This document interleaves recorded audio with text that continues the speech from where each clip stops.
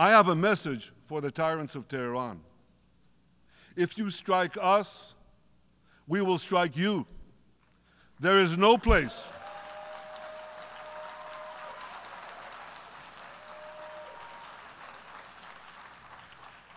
There is no place in Iran that the long arm of Israel cannot reach. And that's true of the entire Middle East. Order, please. Ladies and gentlemen, order.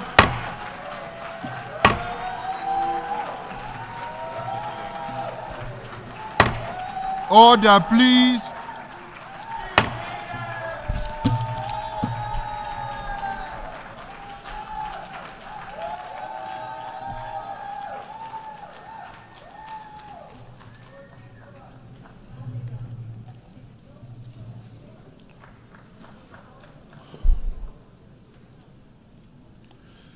Mr. President,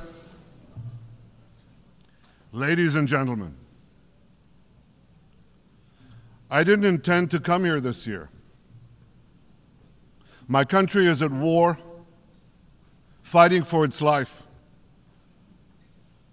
But after I heard the lies and slanders leveled at my country by many of the speakers at this podium, I decided to come here and set the record straight.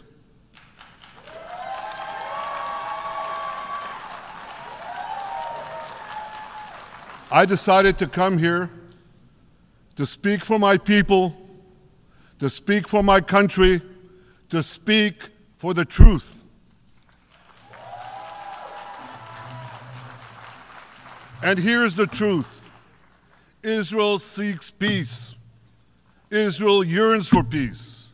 Israel has made peace and will make peace again.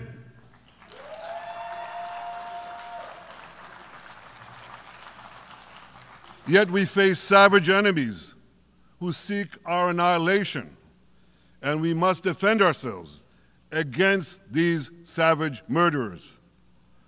Our enemies seek not only to destroy us, they seek to destroy our common civilization and return all of us to a dark age of tyranny and terror. I have a message for the tyrants of Tehran. If you strike us, we will strike you. There is no place.